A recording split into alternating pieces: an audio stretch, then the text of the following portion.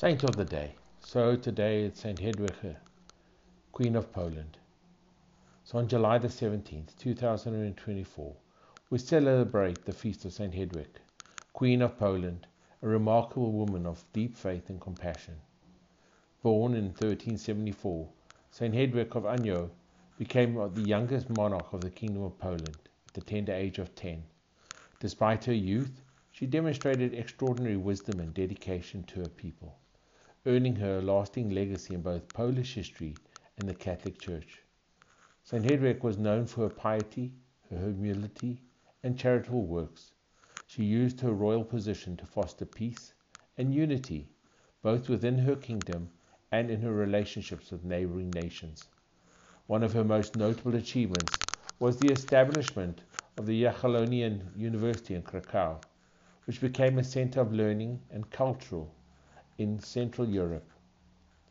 Her support of education reflected her belief in the power of knowledge and faith to transform society. St. Hedwig was also instrumental in the Christianization of Lithuania through the marriage to Grand Duke Jogaila. And this union not only solidified the alliance between Poland and Lithuania, but also expanded the influence of Christianity in Eastern Europe. One of the lesser known aspects of St. Hedwig's life is her deep personal spirituality.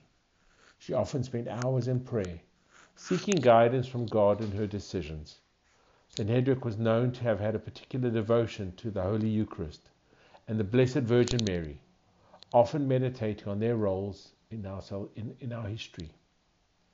A poignant statement attributed to St. Hedwig reflects her profound faith my heart is set on loving and serving Christ in all things, for in Him I find my true strength and purpose. Her life, also marked by personal sacrifice, despite the political change of her marriage, St. Hedwig remained committed to her vows, viewing her role as queen as a vocation to serve God and her people. She was known for acts of mercy, including personally tending to the poor and the sick embodying the gospel's call to love and to serve the least among us. So let us pray. Heavenly Father, we thank you for the inspiring life of St. Hedwig, Queen of Poland. Her unwavering faith, dedication to education, and tireless service to her people stands as a beacon of your love and grace. May we, like St. Hedwig, seek to serve others with humility and compassion, always striving for peace and unity. Please help us to remain steadfast in our faith, finding strength and purpose in our relationship with Christ.